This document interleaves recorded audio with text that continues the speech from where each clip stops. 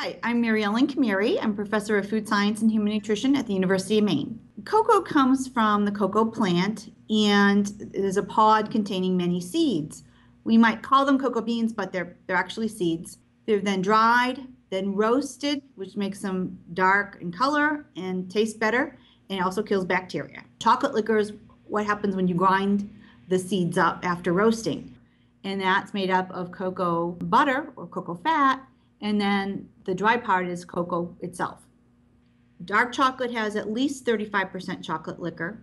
Milk chocolate has 10%. White chocolate has none, but white chocolate does have cocoa butter in it.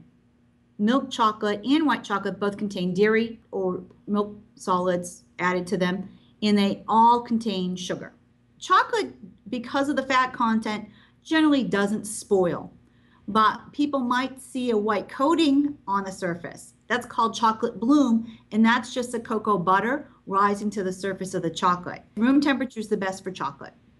Well, the health benefits of chocolate are due to the flavonols that are in chocolate, but there's also sugar and caffeine and protein and magnesium and even some calcium in the dairy based chocolates. So there's a lot of good nutrition in there that can give you energy. White chocolate has no caffeine, the other two do, but in very low amounts.